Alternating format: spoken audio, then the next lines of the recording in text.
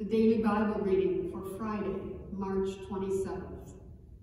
It's taken from Ezekiel chapter 33, verses 10 to 16.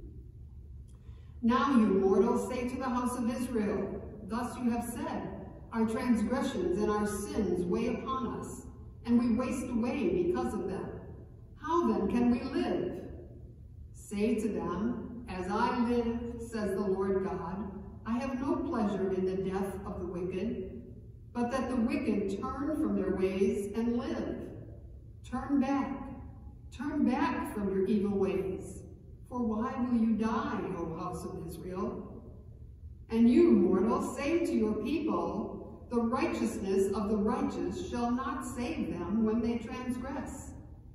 And as for the wickedness of the wicked, it shall not make them stumble when they turn from their wickedness. And the righteous shall not be able to live by their righteousness when they sin. Though I say to the righteous that they shall surely live, yet if they trust in their righteousness and commit iniquity, none of their righteous deeds shall be remembered. But in the iniquity that they have committed, they shall die. Again, though I say to the wicked, you shall surely die.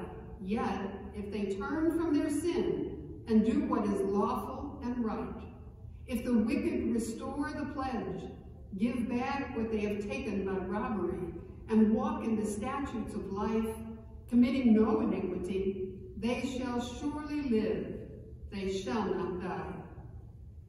None of the sins that they have committed shall be remembered against them.